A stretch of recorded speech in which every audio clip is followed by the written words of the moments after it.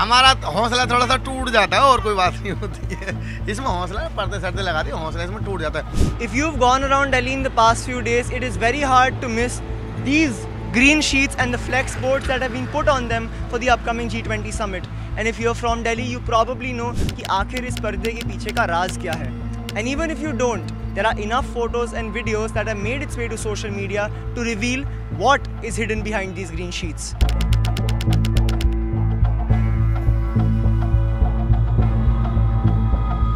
For months now, several slums across Delhi have reportedly been razed to the ground as beautification drives for the G20 summit gathered steam. Meanwhile, the PIB has claimed that the removal of encroachments was in compliance with the Supreme Court orders and demolition of structures at Delhi's Tughlakabad was not related to G20. Now, as the preparations enter the final stretch, Delhi's slum areas have been literally put under wraps.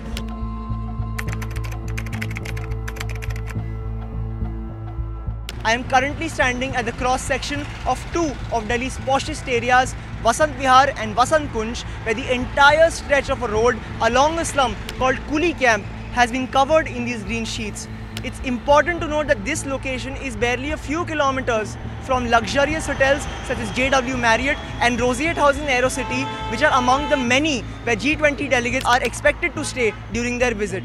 Similar green sheets also appeared in different parts of Delhi, such as here, here and here, which are either located close to the G20 venues or are along the routes that many of the world leaders are expected to take during their visit.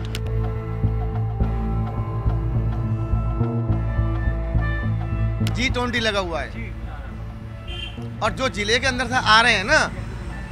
उनके देश में भी हमारे जैसे लोग हैं ढकना तो बेकार है ये पर्दे लगाए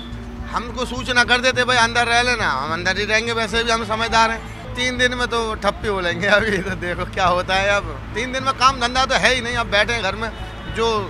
दो चार हज़ार रुपये जोड़ जाड़ के इकट्ठे कर रखे हैं, उनको खाएँगे आराम से बैठे घर में क्या करेंगे Apart from these green sheets, many people living under Delhi's flyovers have claimed that they were asked to vacate for security reasons, forcing many to temporarily leave the city. We at the Quint will be covering the scenes and the unseens from the G20 summit. Click the link in our description to read our stories and stay tuned to our coverage.